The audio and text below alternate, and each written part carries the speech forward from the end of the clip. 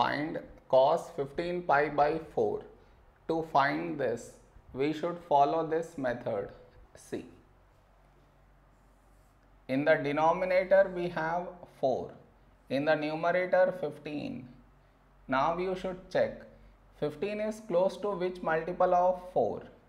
What I mean is 15 and here you write multiples of 4 that is 12, 16.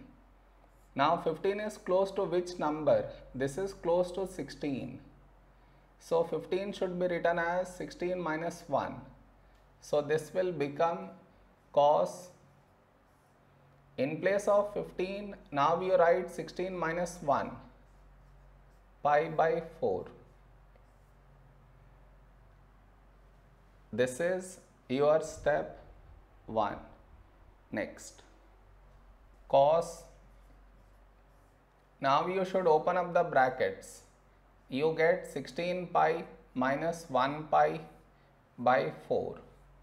Now cos in this you should split the denominator in this way.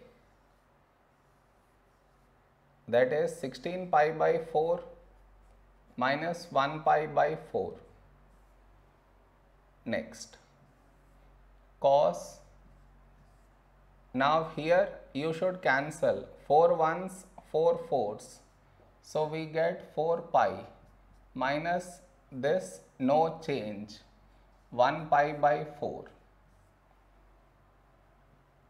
Next here we have pi so cos is not going to change it will remain cos and inside we get this angle pi by 4. Now the question arises will we get here plus or minus?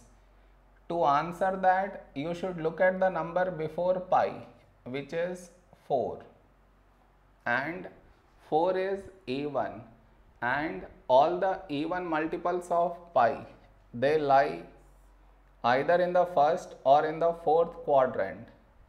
So now to check which quadrant do they lie we should look at this symbol here we have negative.